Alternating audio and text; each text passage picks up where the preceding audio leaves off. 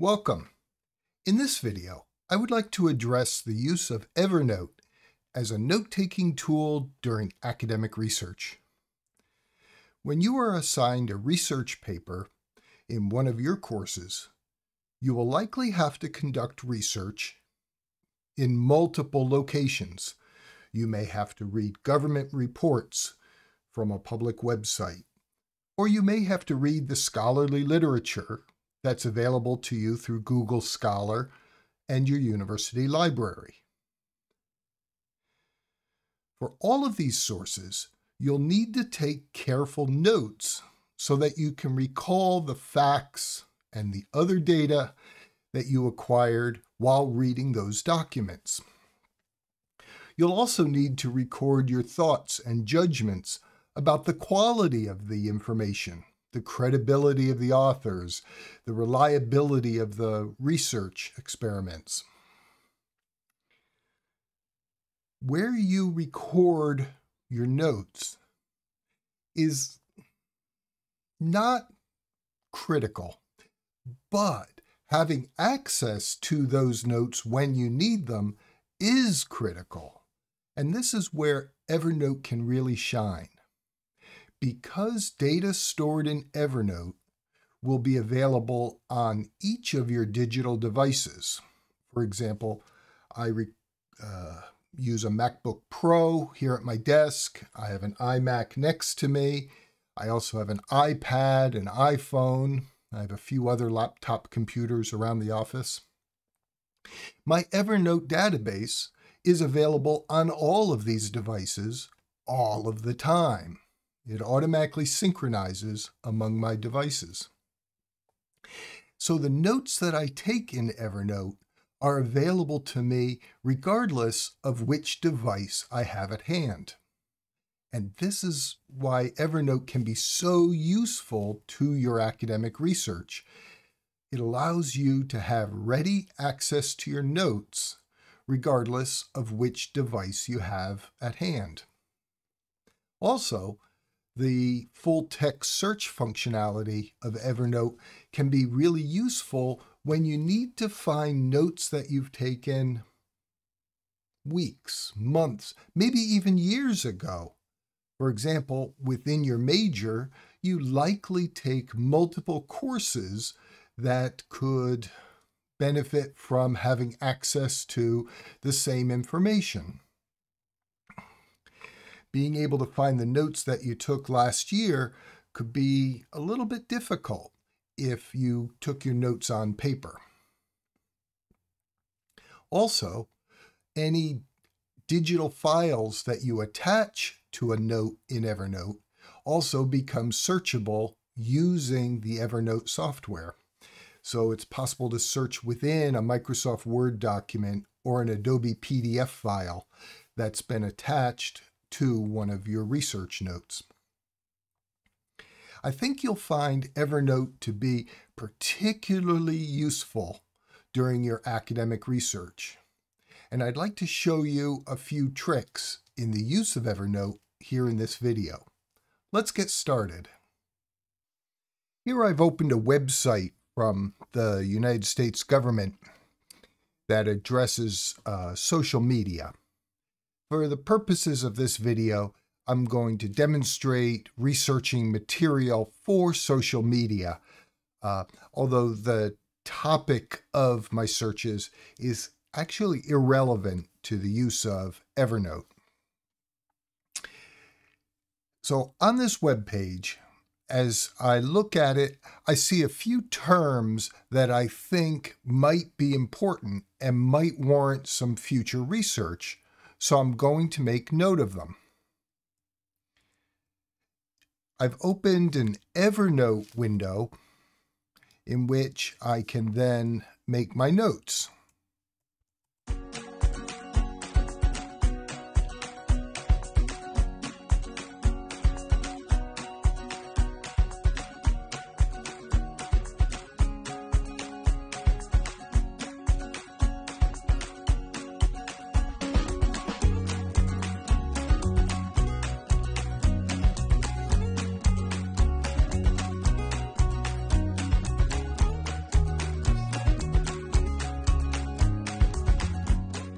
And then just for a bit of clarification within my notes, I'll make those bulleted items. Now, as you read this web page, you may not think the words that I found to be particularly salient, but I've chosen them primarily as an example of collecting data from a web page and recording it in Evernote.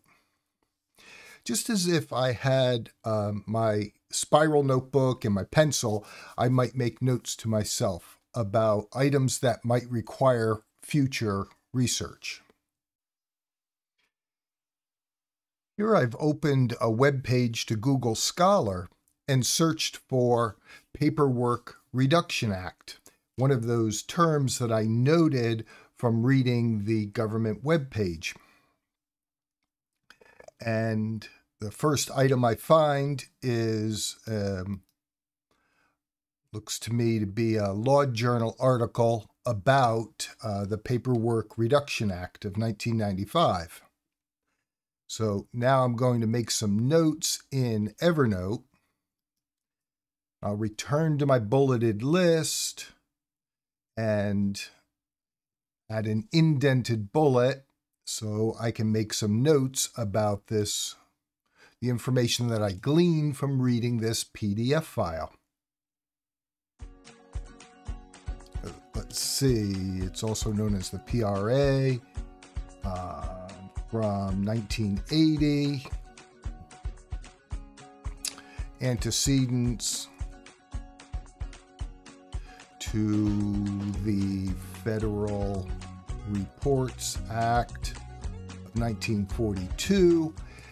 So, just right here in the very first few sentences of this law review article, I find information that the Paperwork Reduction Act was uh, signed into law in 1980, but that it has antecedent legal requirements that date all the way back to the Federal Reports Act of 1942. Now, I know nothing about the Federal Reports Act. Maybe it would be of use to return to Google Scholar or my uh, university's library and research that topic. So, to remind myself to research that, I'm going to identify this with a color so that it's just a little mnemonic to me to remind me uh, to go research the Federal Reports Act. Let's see what else I can learn about the Paperwork Reduction Act. Okay, it was enacted in 1980, amended in 1986, and in 1995.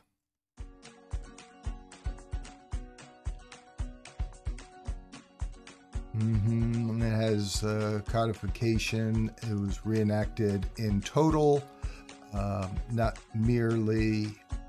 Ah, okay, so this is important. 1995 was a recodification, a rewriting of the act, not just minor modifications.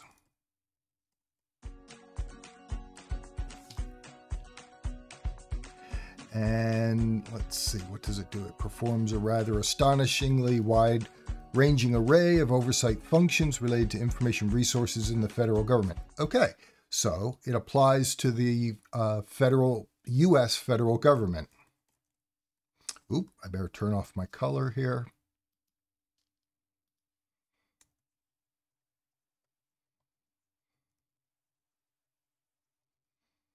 And it is uh, broad in scope.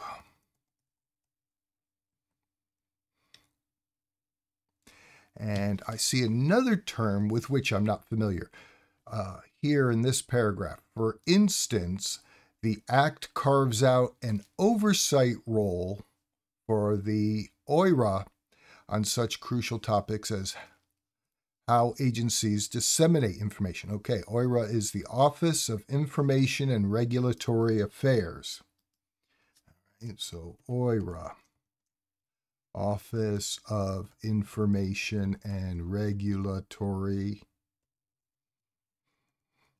I'm sorry for speaking while I'm typing. All right. Now, I'm going to stop at this point because you don't need to see me taking notes. I just want to demonstrate how I could use Evernote to first find some information on a government website about social media. As soon as I started reading that information on the government website, I came up with terms that I didn't recognize, such as the Paperwork Reduction Act. And from there, rather than following the hyperlink right here on the government website, I went to the scholarly literature to see what I could learn about the Paperwork Reduction Act. Um, I don't assume that a website produced by the federal government for the general population will have sufficient detail, um, qualification, clarification of the information about the Paperwork Reduction Act that I might need in order to make arguments within an academic paper. For the data necessary to make my more complete academic arguments, I moved quickly over to the scholarly literature and found that article from the Law Journal. Now I've logged into my university library. And again, I searched for the phrase Paperwork Reduction Act. Notice my search criterion is included within quotation marks so that the phrase Paperwork Reduction Act is sought, not individually the words paperwork and reduction and act. I'm looking for the phrase Paperwork Reduction Act. And the first item I find is, um, well, it's on topic. So I'm going to open the PDF file.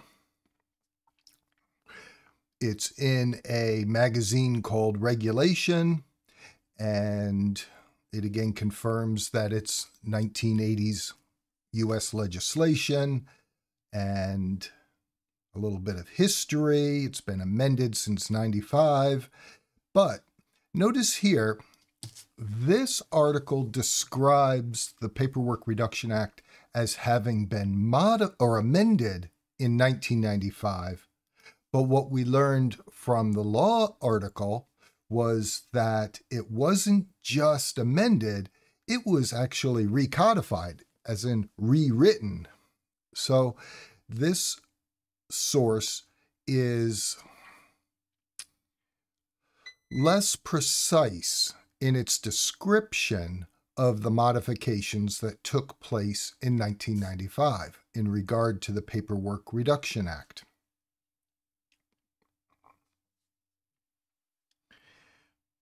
And then it goes on to say further, the number of areas in which information collections are required has increased.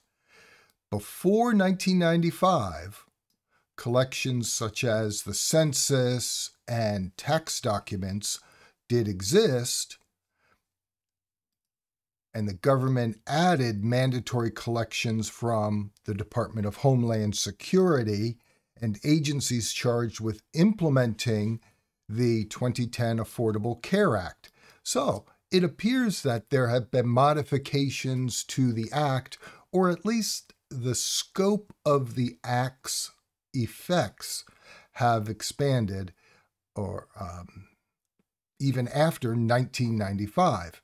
And that's probably good information. So, but I'm going to cheat here. I'm going to take this text, select it, copy it. Now I'm on a Mac, so I used Command C to copy the selection. On a Windows computer, um, you could use Control C.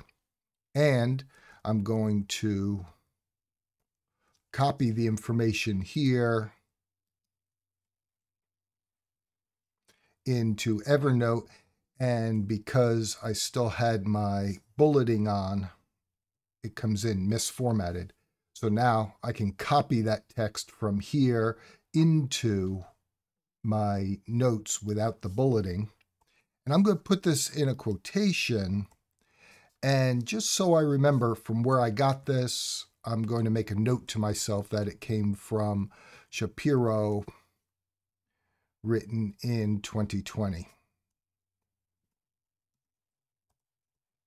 And then I would also save a copy of this, this PDF document into my Zotero database so that I have ready access to the PDF file even once I've disconnected from the internet.